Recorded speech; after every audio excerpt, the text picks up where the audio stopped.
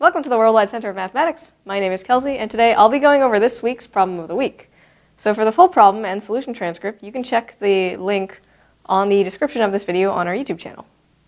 Okay, so this week's problem of the week asks you to find the eigenvalues and the eigenvectors of the matrix that I give you. Um, this is a very, very standard linear algebra, algebra problem, and if you ever take a class in it, you're definitely going to need to know how to do this. Um, this is also really useful in quantum mechanics, so this is something that comes up a lot. It's really useful. It's pretty cool. Uh, so we're going to start.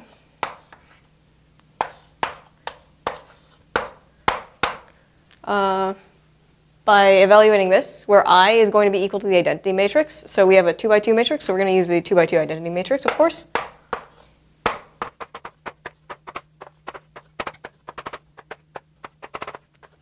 Uh, so it evaluates pretty nicely, and then um, we're going to take the determinant of it and set it equal to 0, and then we're going to solve for lambda. And that's how you get the eigenvalues of it.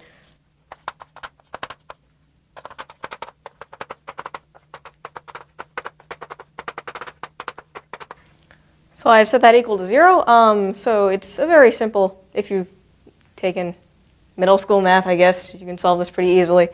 Uh, there's going to be two solutions for lambda, um, which I will write on the board.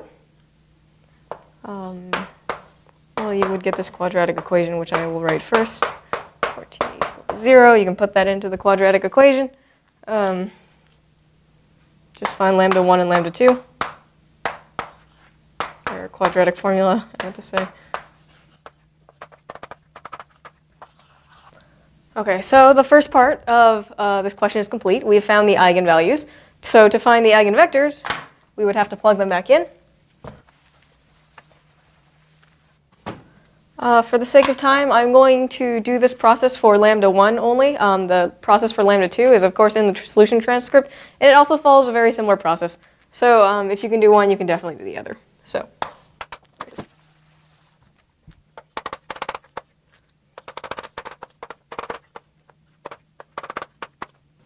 Okay, so I've started by plugging in the values for uh, lambda 1.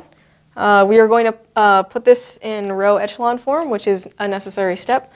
Uh, so we'll start by writing it again over here.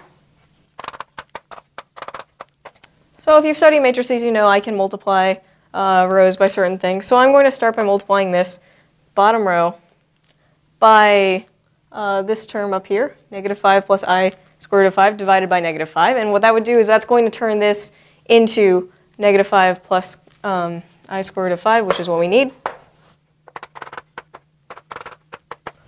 So if you do that, you find that these match, you can subtract one from the other.